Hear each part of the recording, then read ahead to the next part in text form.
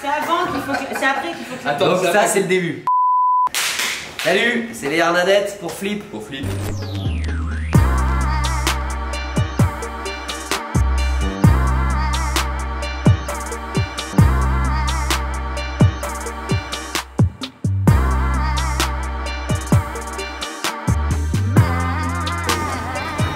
Alors pour le disque, moi c'est une sensation. C'est mon père qui met le diamant sur le vinyle, le craquement qui vient après. Et pour toi, Moche Eh ben pour moi, euh, mon cher Philippe, non pour moi le vinyle euh, c'est euh, ce qui se fait de mieux aujourd'hui en termes de, de- de packaging. Aujourd'hui la musique est totalement dématérialisée et je trouve que le vinyle continue de pouvoir faire fantasmer euh, la musique. Et pour moi c'est une œuvre d'art. C'est les... des souvenirs. Moi, je les rattache au passé. Je n'ai pas encore de platine. Lui, il en a une. J'ai une platine et je la consomme et je les collectionne et je les ai en double et, euh, et j'adore l'objet. Jeff Buckley, euh, quoi 94 je dirais. Je vérifie. 94. Yeah. Donc 94, bah, j'ai 14 ans, Bah, c'est les premières chialades, c'est les premières love stories de cet extraordinaire morceau euh, de, de Alléluia de, de Cohen. goes like this the fourth, the fifth, the minor fall and the major lift. The baffled king composing hallelujah. On a deux pochettes qui ont un, un vrai, euh, un vrai quelque- un vrai truc commun, c'est la couleur verte. Le, le vinyle euh, qui est euh, la pierre angulaire de ma vie, c'est 1976, Allez les Verts, euh, par Monty. Un 45 tours, une pochette verte, une équipe comme ça, et euh, une équipe de foot en train de révolutionner le monde du foot en Europe. Et on a ce vinyle qui tourne en boucle. Allez, qui c'est les plus forts? Évidemment, c'est les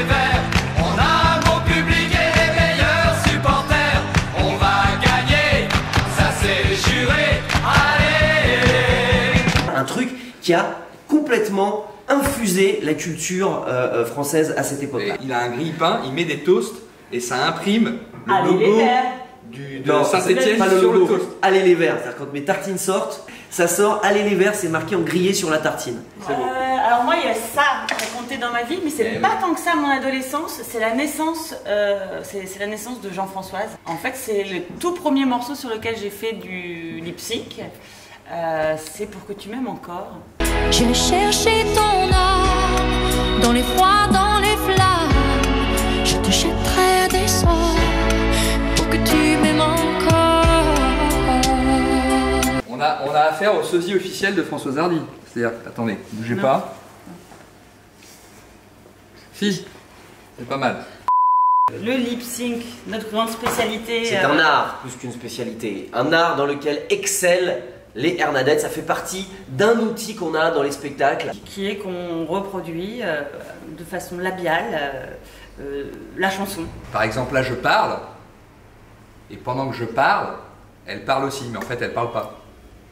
T'as compris? Ah. pour, pour moi, là, ça, là, Deep Purple Made in Japan, c'est le meilleur album de tous les temps. Non, mais c'est une performance de live qui est dingue. Il y a un morceau qui s'appelle The Mule, avec un solo de batterie.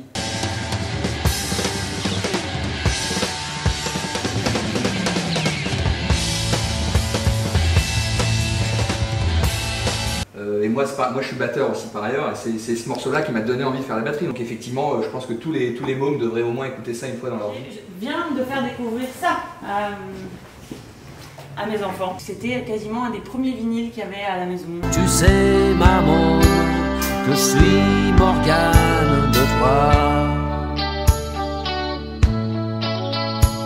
Fait la même chose que toi, j'ai fait écouter euh, euh, Renaud, et puis ensuite il y a la musicalité et l'esprit, et là je fais écouter du Beatles parce que on s'en aperçoit bien avec euh, cette visite dans, dans ce lieu magique que la musique c'est une histoire de, de- de transmission. quoi. Mais effectivement, vrai. spectacles, en fait, c'est un spectacle aussi. euh, évidemment, c'est une comédie, il y a de la musique, mais c'est aussi un moment de transition, c'est-à-dire et de transmission.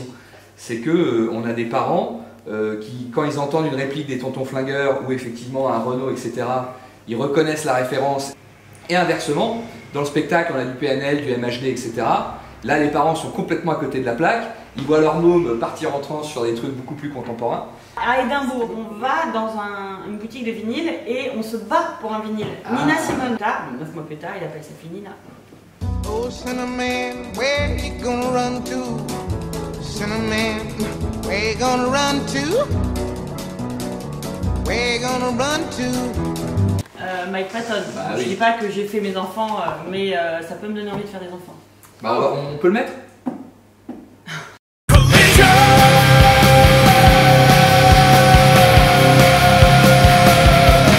Hernadette a son propre vinyle. Erreur totale et absolue, c'est-à-dire qu'on n'a même pas pensé à amener notre vinyle. Oui, c'est comme ça. C'est vrai. Vous voulez Sur lequel Hernadette a fait cohabiter Mireille Mathieu, Et donc fallait qu'il y ait son nom qui cohabite avec le nom Hernadette.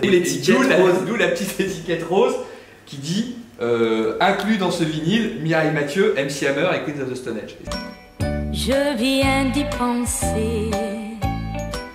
Je veux partir à ta conquête. New York, New York. je me réincarnerais bien là-dedans, moi, en fait. Ah, je trouve qu'il y a un vrai truc, euh, mec est mort sur ses chiottes, euh, c'est exactement. euh, je, voilà, je, voudrais être comme ça. Le dernier vinyle que j'ai acheté, c'est le, dernier vinyle de Falls. C'est des mecs qui, euh, qui, qui cartonnent et qui, qui, qui ont le mérite de cartonner. Et quand on sait d'où ils viennent, franchement, c'est vraiment cool. Voilà, ta réponse, ça fait 6 minutes par exemple. Donc euh, à moi, à mon tour, je me souviens très bien du dernier vinyle que j'ai acheté. C'est Robert Foster, The Evangelist. Euh, je viens juste de tirer un vinyle derrière pour te donner cette réponse. C'était la BO de Un homme et une femme, puisque c'est euh, mon film culte.